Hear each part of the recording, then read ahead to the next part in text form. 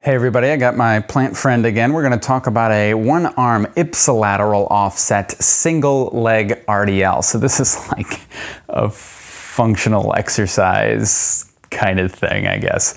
Um, I want to talk about how it's different though than a normal deadlift. So if I got two legs, um, you know, I, I put the weight in one side, it kind of shifts me over to that side. I need to control myself and not let myself fall over to that side. It turns on this glute on the same side. We talked all about that in our video yesterday. Same principles are kind of applying here. If I shift my weight to one leg now and the weight is over on this side, I don't have to shift so much to keep my balance, right? If I keep the weight here, my center of mass is straight down. If I bring the weight out here, my center of mass is now over this foot. Okay, my center of balance, all my pressure comes over there. That's just how I have to do it so that I can keep my balance.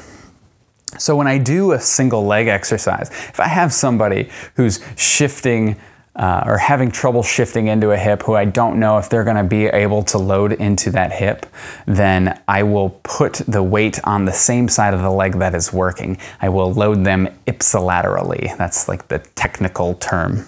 So that would look like something like this. Okay. So I can just do reps like this um, if I'm trying to get this leg to support the weight, but I don't want to, uh, or I don't have the mobility to shift all the way over. I might also do it because I want an ab on the other side. And this weight is trying to pull me down like this, and this ab has to not let it. Okay, so those are two major reasons that I might use a one dumbbell ipsilateral offset single leg RDL.